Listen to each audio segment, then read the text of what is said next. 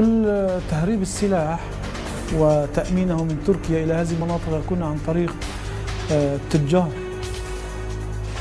عاملين آه، هيك فتحة فتحة بالشريط التركي. وهن التراك نفسهم بينقلوا العالم. يتصل هو بجماعة يجيبوا يجيبوا لنا أكياس آه، سلاح بأكياس خيش من تركيا.